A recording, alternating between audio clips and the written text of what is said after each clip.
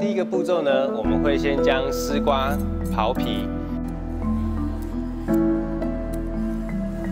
削皮好的丝瓜切成大块状。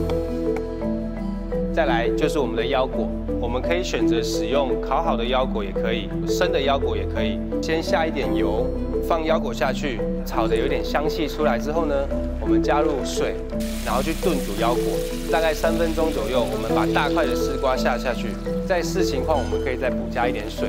那丝瓜下去炖煮的时候呢，如果希望它快一点，那我们可以把它盖个盖子。最后我们把马告撒上去，这道料理就完成喽。